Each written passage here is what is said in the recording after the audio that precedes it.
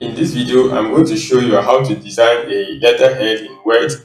And this is the exact same letterhead we are going to design by the end of this tutorial. I'll show you how to create a header in a footer for your letterhead. I'll also show you how to insert your logo. I'll even show you how you can insert an automated date such that anytime you open the letterhead, you get the current date. So if you like what you are seeing and want to design your own letterhead, keep watching.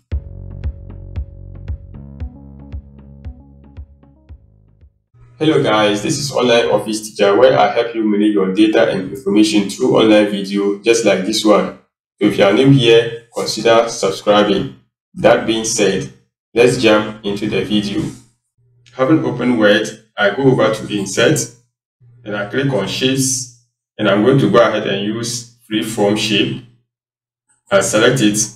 Then on top of my page, somewhere here, with my cross cursor, I click once, and when I'm moving the mouse that the line is freeing me, just click once, then I go to the end right here. If you want to make sure you get a perfect straight line, you need to hold down shift. As you can see, I'm holding down shift, moving the mouse, and you see that the line is just static on top there. So I take it to the end like this, then I click, and you see that the line has stick up there. Next, I just come right here, and also make sure I get a straight line about this much. Click once. Next, I come down here. This time around, I don't need a straight line. I just need some, I just need to have my line a bit slanted like this. I click and finally, I go to the first point and make sure that the line meets the first point. As soon as the line meets, you see that the shape is filled. When the line is not meeting like this, the shape will not be filled, or maybe down here, it won't be filled. So the moment you hit the first point, the shape will be filled. Then you go ahead and double click to insert your object. Perfect. Now I go ahead and select it and I make sure there's no space on top. So I just use the up arrow key and the left arrow key to make sure that there's no space on top here and at left also. Next, I select it back. Then I'm going to go ahead and remove the outline. So I choose no outline. Next, I'm going to draw another shape. So I go over to insert, shapes, and I choose my free form. This time around, I'm going to go ahead and start from this location Take note, this has no proper measurements.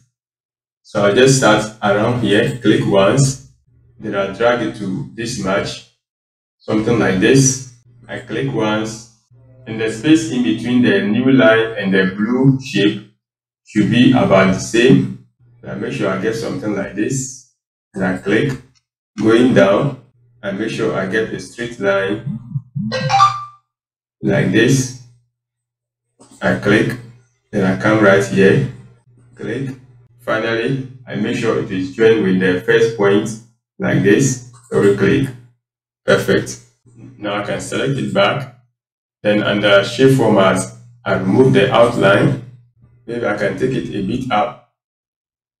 About this much. These are not the colors I'm going to use. I want to insert my logo so that I'll choose some colors from the logo so the next thing I'm going to do is go ahead and insert my logo. With my insertion point being here, I go over to insert and I click on pictures, this device. Okay, my pictures are not showing, but I know this is the one I want. I just select it, then I go ahead and click on insert. Awesome. Take note, my logo already has the name of my business. At the moment, I cannot move the logo. So to be able to move it, make sure it is selected, then go over to text wrapping and click on in front of text. And now I'll be able to move it from one location to another. So this way I want to position it. Meanwhile, I'll reduce the size to this much. Perfect. I like the position. So now that I have my logo here with my two colors, first of all, I'll change the color of the bottom shape. I select it, shape format, shape fill and I choose black. Next, I select the shape on top. Then I go over to shape fill. I think this blue is close. Let's choose and see. okay, there's some sort of variation. I go back in there and I go over to more fill colors. I can take it a bit down. That is the arrow pointing to the colors. And I think this is close. I just click on OK. Perfect. Take note in a situation where your logo is not having the name of your business, you can just go ahead and insert the text in Word. So to do that, I go over to Insert, then I click on Text Box. So you can just draw right under your logo like this, then go ahead and enter in your text. Or better still, you can move it to whichever location you want, maybe this location. So you only do this when you don't have the name of your business as part of your logo. So I take this off. The next thing I'm going to do is go ahead and insert a date at this location and I'm going to use an automated date. So to do that, first of all, I will need to insert a text box. So I go to insert, then I choose text box. I choose draw text box. I just go ahead and draw it right here. It will be perfect if you make it in line with your logo. So I have my text box right here. Next, I go to insert again and I choose date and time. So take note, whatever I'm going to insert now will be inside the text box. So right here are the available date formats and this is the one I want. I'll just select it and you make sure that update automatically is checked. Then I click on OK. Awesome. Maybe I can make it bold by selecting it. Then I go to home, bold. I can move it from one location to another if I want by holding the text box. I can move it to this particular location. Meanwhile, I don't need the box surrounding the date. So I go to shape format. It is still selected. That is the text box. Then I go to shape fill. I remove the fill in the shape outline. I remove the outline. So now if I click aside, you see that there's no border surrounding my date. Maybe the logo, I can move it up a bit so that it will be in line with the date. Something like this. I think this is cool. So now the header of my logo is done. Now I'm going to work on the footer right here. And this time around to create the footer, I'm going to go ahead and enable header and footer. To enable header and footer, there are two ways. I can just double click here to enable it. See that footer is now enabled. Let me close it. Or you can just go to insert and under header and footer group, you just go ahead and choose a blank header. Then you can go ahead and remove whatever you have in there. Just backspace once. So first of all, I'm going to go ahead and create my design. So I go to insert, then I choose shapes. Now I'm going to go ahead and use my freeform shape. So I just start from here. Make sure I get a straight line by holding shift key on the keyboard. I click once. Going to the right direction, I open up to this match. Holding down shift, I have a straight line. And I click once.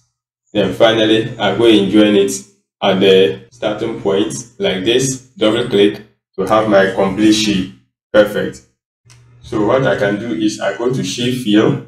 I have the color I use right here. That is the same color on top. Then shape outline. I don't need any outline. Let me check to see if, okay, there's some space here. So I select the shape and I use the down arrow key like twice. Next, I go to insert again, shapes, then I choose my free form. Starting from here, I click, then I go to this point. With this, I don't need a straight line, so I just click once. Going up, it should be a straight line. I click, and finally I join it from the starting point. point, double click. Then I go ahead and fill it with black. Maybe I'll remove the outline. The next thing I'm going to do is go ahead and add my address to do that, I'm first of all going to insert a text box from here. I just draw it right here. I can move it to whichever location I want, maybe on top like this. Alright, then I click inside. So first of all, I have address. I hit enter.